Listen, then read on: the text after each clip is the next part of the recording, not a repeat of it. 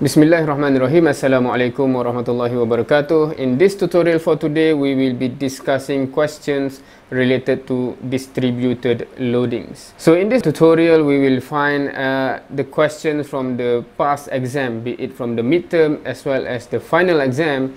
Any question that is related to our topic, which is distributed loading for today, and we will try to discuss and solve the problems inshallah. It hopefully will help you to be more prepared for the type of question that can come in the exams inshallah. All right so uh, as usual uh, the pdf of the questions is can be found the link in the description box below. Feel free to download and attempt as we go through this tutorial. If you find this video to be helpful or beneficial uh, do like the video. And without further ado first question for today. So here we can see the question. On the left as usual we have the diagram. And you have the question. This is from one of the previous midterm. The question actually gives you 30 marks. There's two part part a and part b. So part a says replace the loading acting on the beam by an equivalent resultant force and couple moment acting at point o. And part b Replace the loading acting on the beam by a single resultant force. Specify where the force acts measured from point O.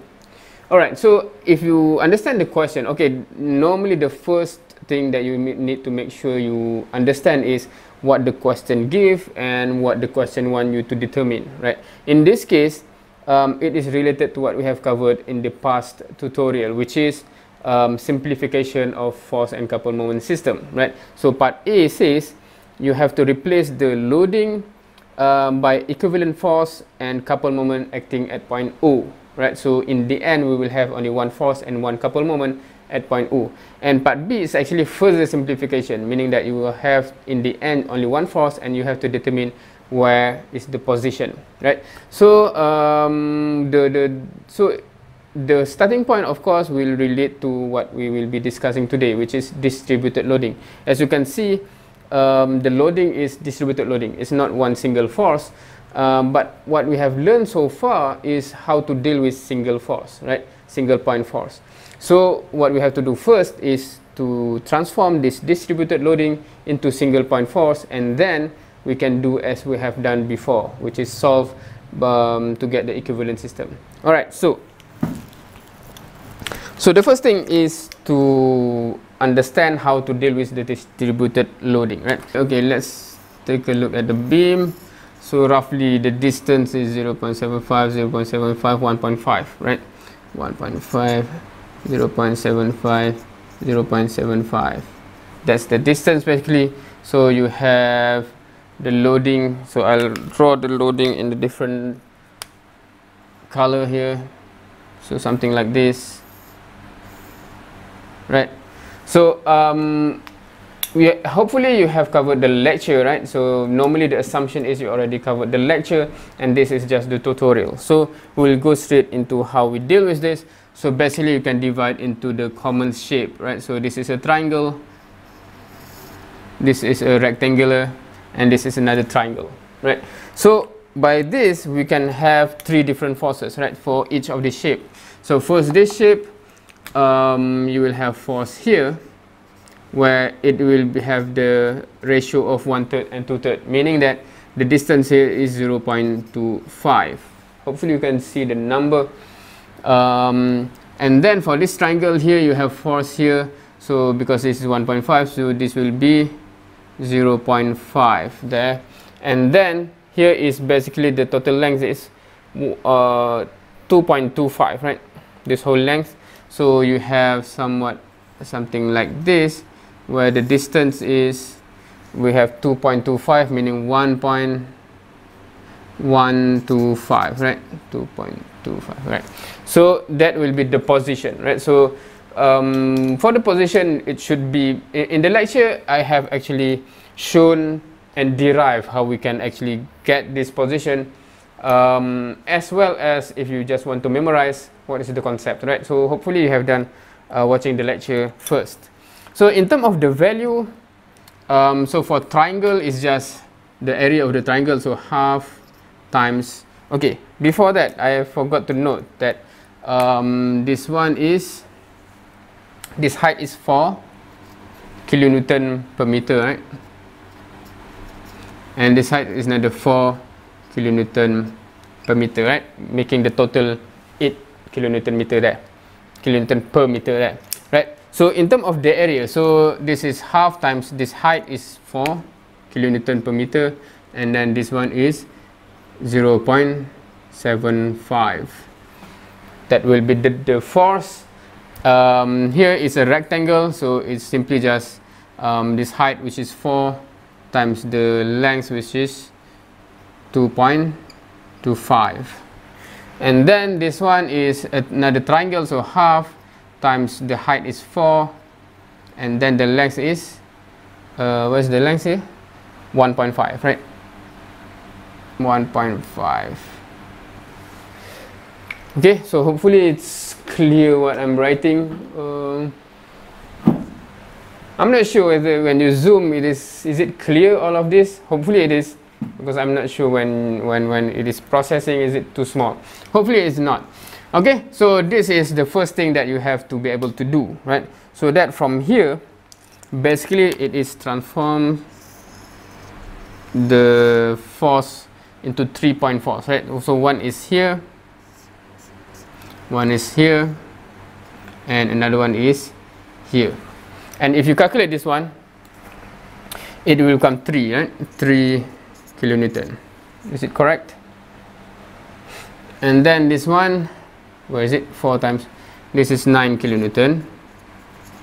And then this one is oops is it 1.5 yeah 1.5 kilonewton right?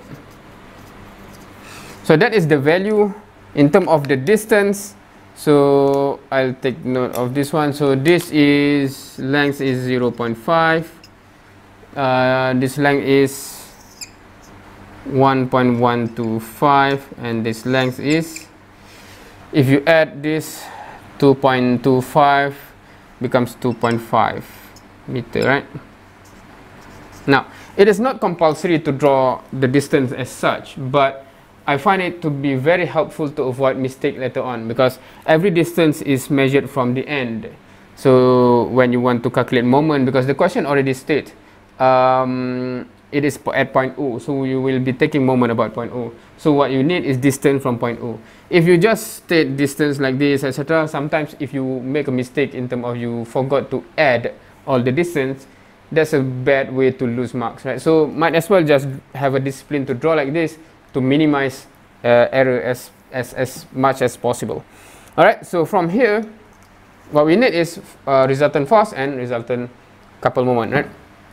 So in terms of resultant force, so after you have done this one, this means that the diagram is already in the format that we have covered before, right? So from the original di diagram over there, you have transformed here. Now you have this one, you can just straight away calculate as usual, right?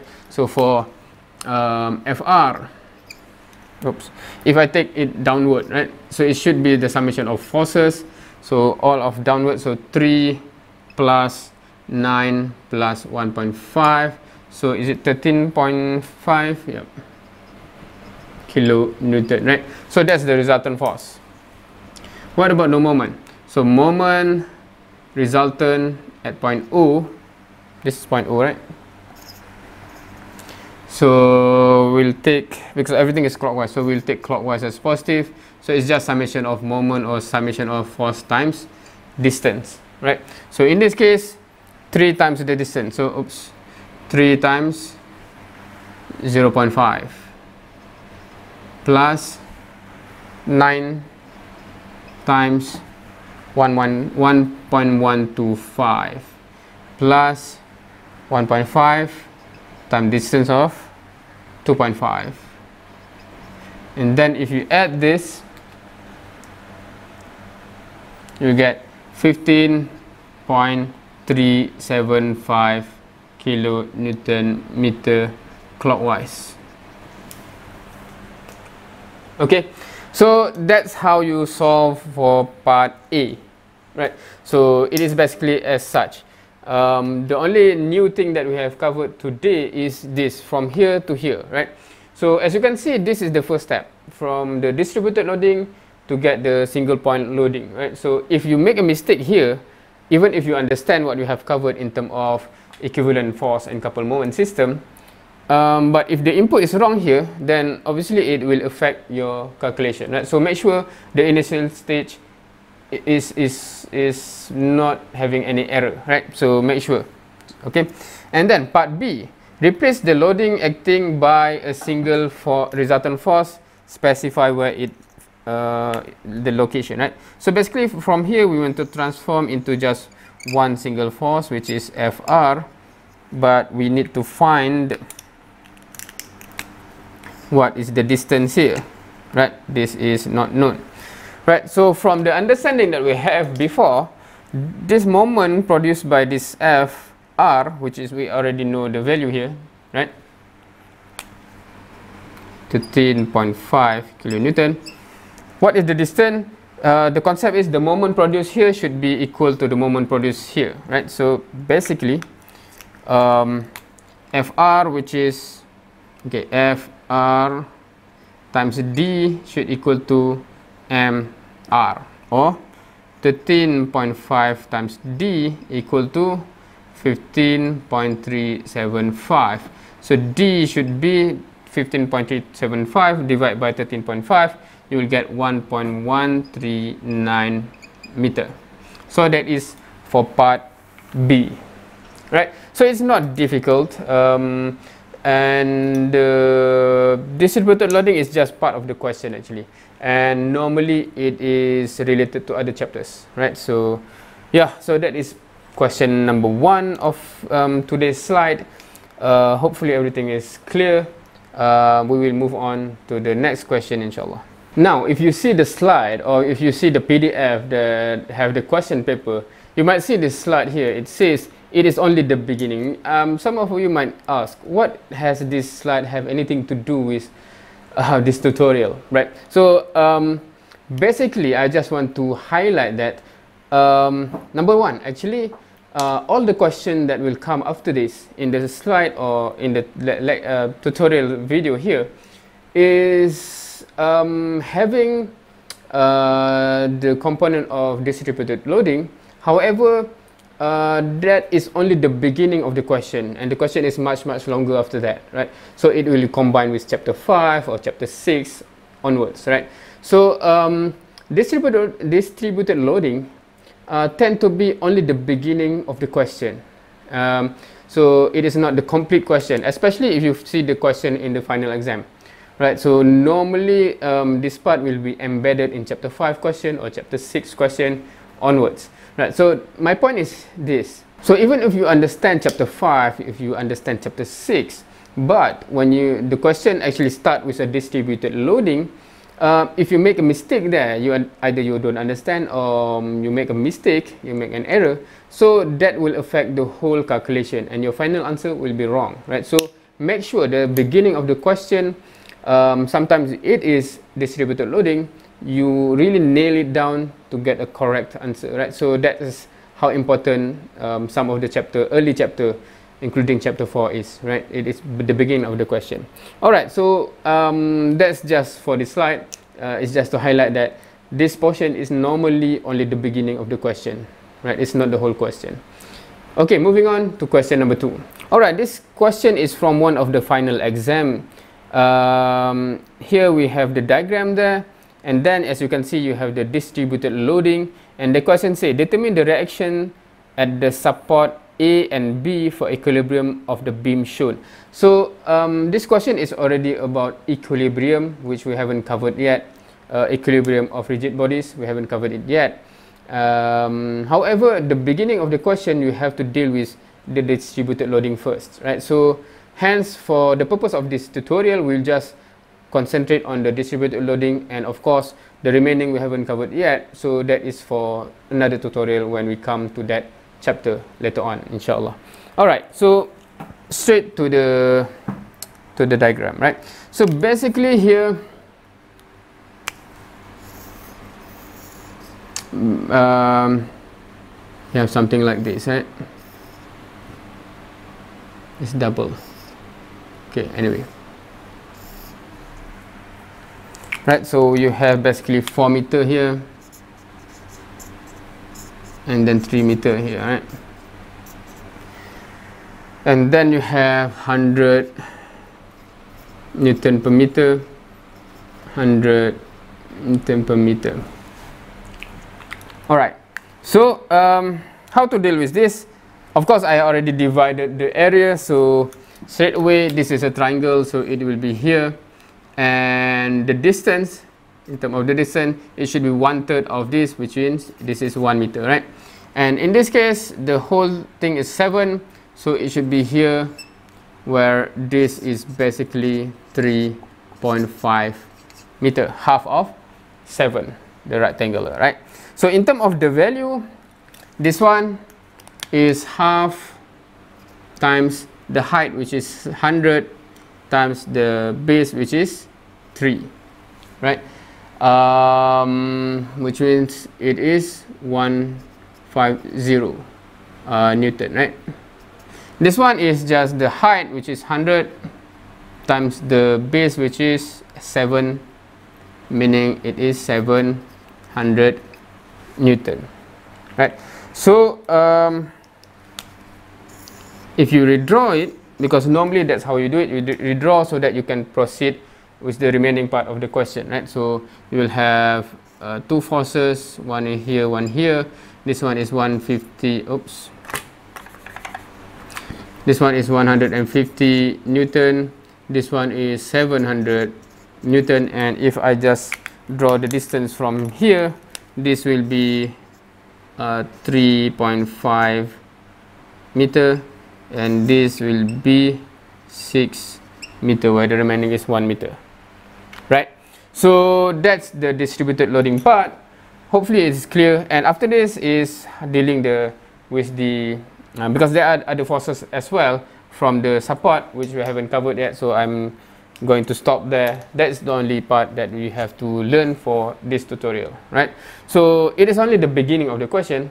There will be remaining but if you make a mistake here whatever comes after that will also be a mistake so make sure you really understand this before we start to learn chapter 5 chapter 6 onward right okay moving on to the next question now this question uh, hopefully you can see it is quite small because it's quite long um, this is from one of the final exam, one of the previous final exam. You have a 3D um, structure on the left there. Uh, and then you have the distributed loading there. And then you have all the other cables, etc. But our focus for today is the distributed loading, right? So uh, as you can see, uh, if you go through the question, there are part A, draw the free body diagram, and then part B, express the forces, part C, determine the component of reactions, part D, etc. Right? So the question is longer, but where is this part that we are covering, which is um, distributed loading?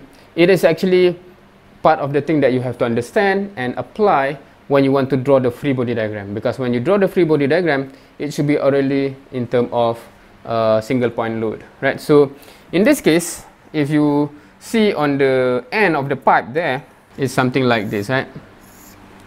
and then going there right something like that right so the distributed loading is here right so basically if I draw the distributed loading is somewhere there and what we need to do is because this is downward where the value is 800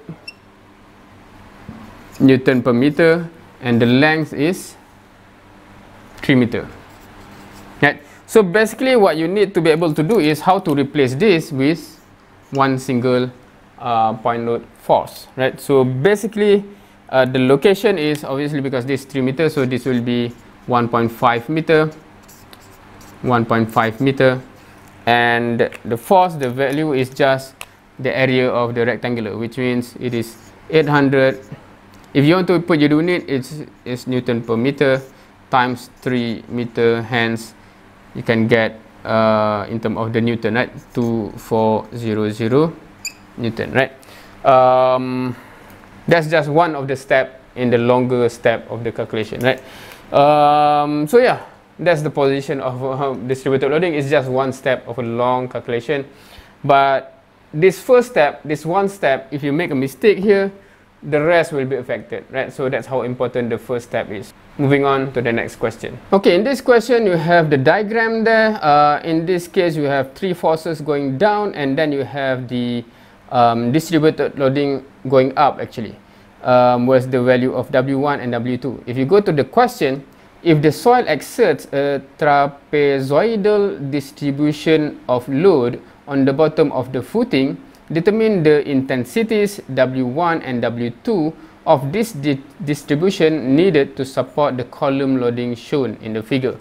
Alright, so basically in this question, um, the flow is the opposite way where you have to actually determine what is W1 and what is W2 instead of having this value and then calculate onwards, right?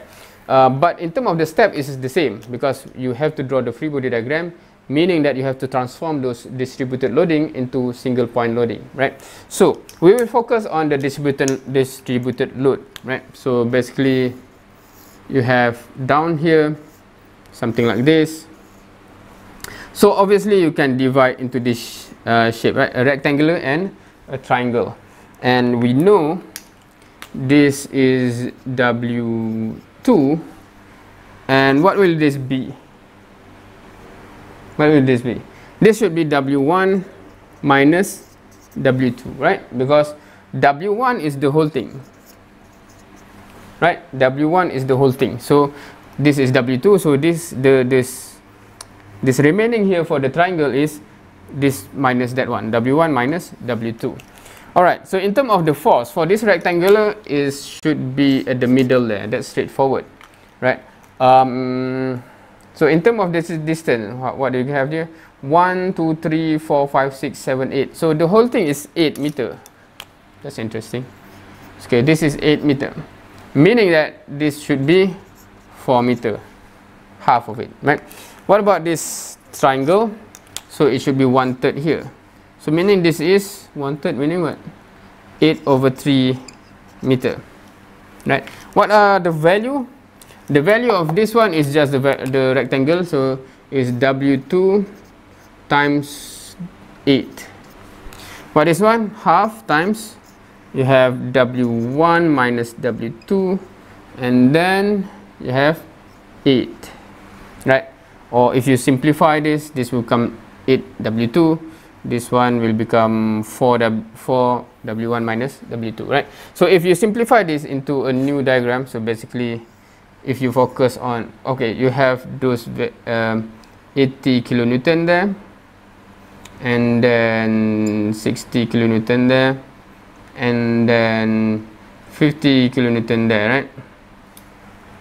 So uh, with the distance given so basically you also have um, this value here. So this will be 2 point something right? So it's somewhere here.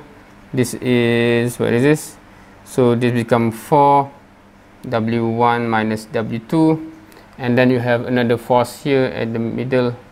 Uh, is that the middle? 3.5 okay not the middle. So it's so my my my scale is a bit off but this is w2 right? Uh, with the respective distances from the, the question and what you have determined here right? So from here you will continue on to solve the question.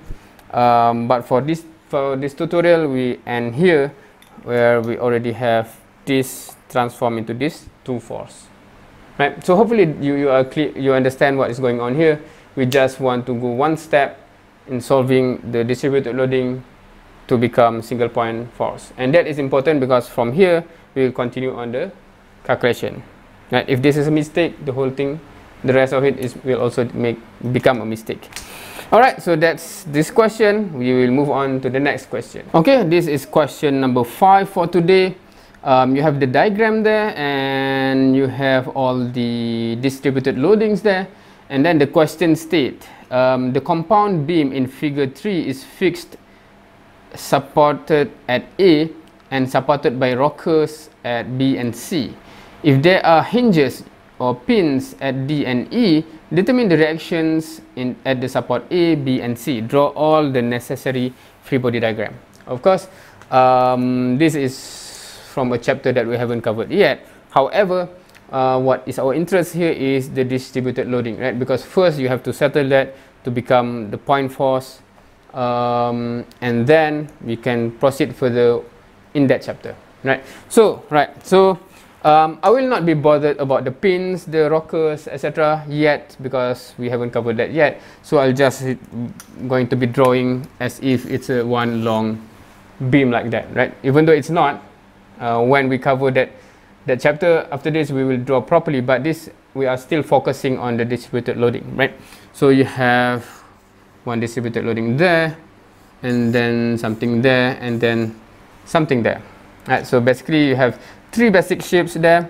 Um, the distance here is 2 meter. The distance here is 6 meter. And the distance here is 9 meter. Right?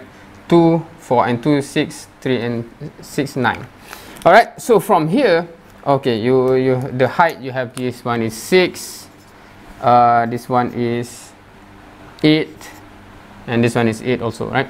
Okay so from here you have for each shape of course for each shape of course you have one load. So here you have at the middle here. So meaning that this is one meter. And here is should be at the middle as well. So this one is um, 3 meter.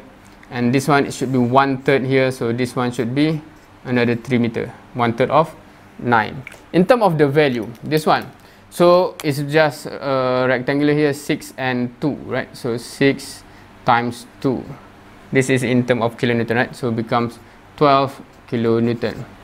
This one the value is just uh, rectangular as well 8 times 6 so 8 times 6 right? So become 48 kilonewton. And then this one is half oops half times this height which is 8 times this base is 9 so 36 kilonewton right? So basically if you redraw this whole thing obviously i'm just focusing on the force not on the beam here because it's not really a beam.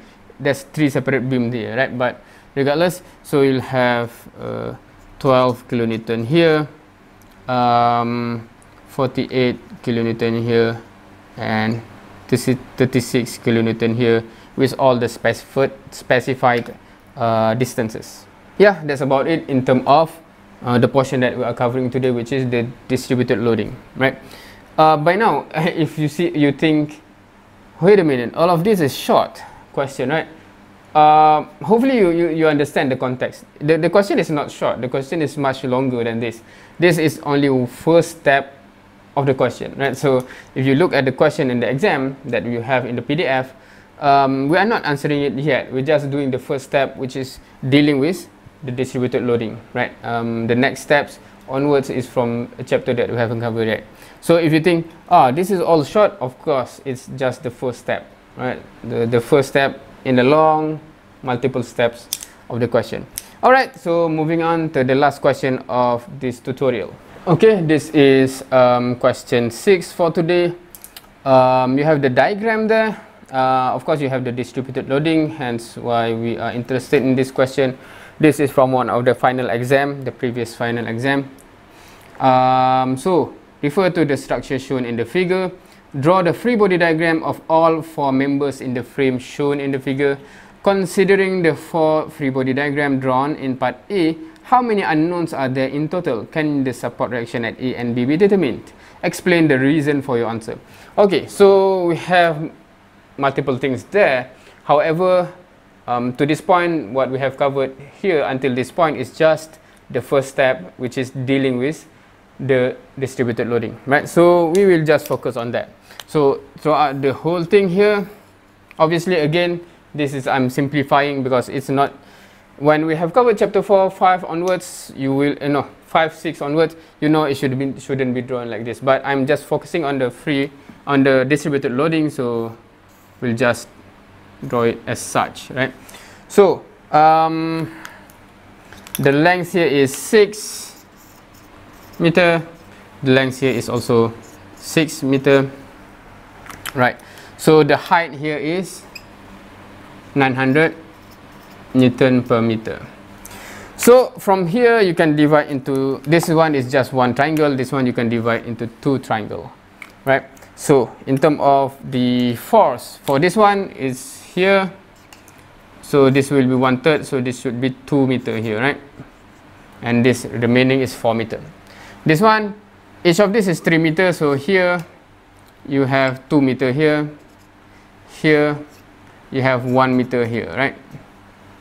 Right so it's close to the higher side right? So in terms of the value this one is just half times the height which is 900 newton per meter times 6 meter. Right you can you can calculate that one. So i'll take the right here first. Of course this will be the same. So this one is half times the height is 900 the base is 3 right this is the same half times 900 times 3 right so in the end when you redraw the diagram so you have these three forces with the respective values there and respective position right? So um, what we have covered today is quite straightforward and quite um, I'm not sure what is the the total length of this video but generally speaking because we have covered we have covered six questions these are from the exam question that I have in store from many semesters before. Um, these are the six questions where I can find distributed loading is in the question right? So it is quite common generally speaking and it's normally um, part of the question. It's normally first step of the question as you can see here and before right? So make sure you really understand how to deal with distributed loading and make sure you get it correct because when the first step is wrong the rest will be wrong in terms of the numbers and the answer right? So make sure you do not lose marks like that. So um, with that uh, that's the end of the tutorial for today. Um, I think it's quite easy and straightforward if you understand. Um, if you don't if you have any question uh, do not hesitate. Please ask in the um, to the lecturer in whatever medium or including if you can ask also in the comment section below. Uh, with that I think we end the session. Subhanakallahumma bihamdik. Asyhadu an la ilaha illa anta astaghfiruka wa atubu ilaik wassalamualaikum warahmatullahi wabarakatuh and we will see you in the next tutorial insyaallah